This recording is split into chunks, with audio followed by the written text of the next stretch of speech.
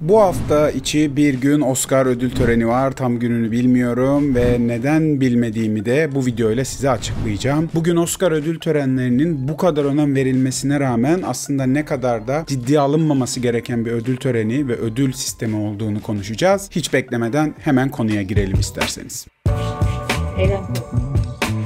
Oscar ödülleri dünyanın en prestijli, en çok isim getiren ve Oscar ödülü aldığınız zaman bir anda kaşenizin fırladığı, çok fazla önem yüklenen bir ödül töreni. Ancak özellikle 2012. kısımlarına doğru çıkan bilgilerden sonra ne kadar da ciddiye alınmaması gerektiği bir kez daha ortaya konuldu. Peki bunlar neler? Hemen onları konuşalım. Öncelikle bu ödülün kazananlarına kimler oy veriyor ve bu kazananlar nasıl seçiliyor? 2014 yılına kadar akademide oy kullanan insanların yaş ortalaması 63 iken bu kişilerin %70 %76'sı erkek ve %94'ü de beyazdı. Yani ortalama olarak 63 yaşında %74'ü erkeklerden oluşan beyaz insanların verdiği oylarla seçilen filmleri izliyordunuz ne kadar tarafsız olabilirler bunu konuşmak gerekiyor. Akademi bununla ilgili çok büyük baskı yemeye başlayınca üstüne 2015 ve 2016 yıllarında oyunculuk dallarında tek bir beyaz olmayan aktör dahi aday olmayınca Oscar So White hashtag'i de popülerleşiyor. Oscar'larda azınlıkların, diğer ırkların neredeyse hiç temsil edilmeyişi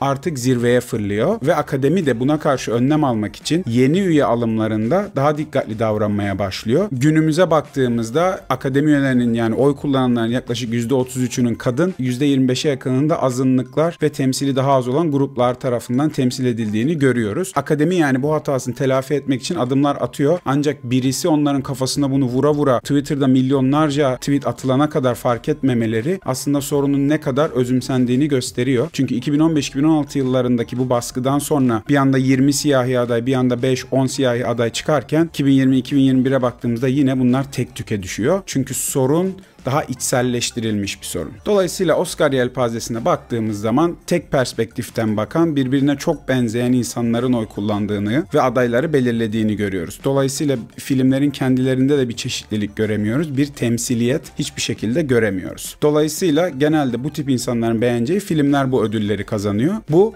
ödül kazanan filmlerin türlerine de yansıyor. İkinci bir skandal 2014 yılında Oscar ödülünü kazanan 12 Years a Slave'in oy kullananlardan 2-3 tane akademi üyesinin filmi çok moral bozucu buldukları için izlemediklerini ancak anlattığı şeyler konusunda önemli buldukları için ödülü kazanması gerektiğini düşünerek oy verdiklerini itiraf ettiler. Yani filmi izlemeyen insanların kullandığı oylarla bir filmin en iyi seçildiği ortaya çıkıyor. Bu tabii ki tamamı böyle yapıyor demek değil. Dolayısıyla burada tarafsız ve sanatın değerinde bir ödülden ziyade kimin daha çok reklam bütçesi ayırdığı, kimin daha iyi sükse yapabildiği ile ödüller dağıtılıyor aslında. Örneğin bu sene en büyük e, ödül toplayıcılarından birisi muhtemelen Everything Everywhere All at Once olacak. 2022'nin iyi filmlerinde bahsetmiştik. Burada Asya kültürünü arkasına alması, çok iyi sükse yapması, yeni nesli çok iyi yakalamasının ve çok konuşulmasının etkisiyle alması bekleniyor. Halbuki filmin kalitesinden, oyunculukların kalitesinden tabii ki bahsedenler var ama akademide bu pek konuşulmuyor. Çünkü neden? Dediğimiz gibi akademide olay filmin iyiliği kötülüğünden ziyade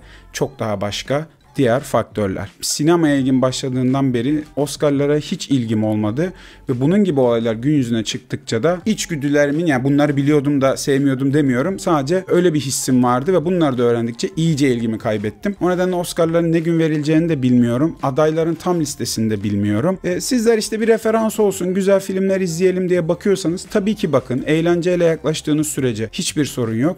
Ancak bir filmin Oscar almış olmasının veya alamamış olmasının kalitesiyle hiçbir bağlantısı olmadığını siz de bilin istedim. Bu Oscar haftasında da bunları size anlatmak istedim. Siz Oscar'larla ilgili ne düşünüyorsunuz? Sizin için önemli mi veya eğlence olarak mı bakıyorsunuz? Başka takip ettiğiniz, daha tarafsız bulduğunuz ödül törenleri var mı? Lütfen bunları yorumlarda belirtin. Bana katılıp katılmadığınızda yazın. Bir dahaki videoda görüşene kadar kendinize iyi bakın. Eğlenceli.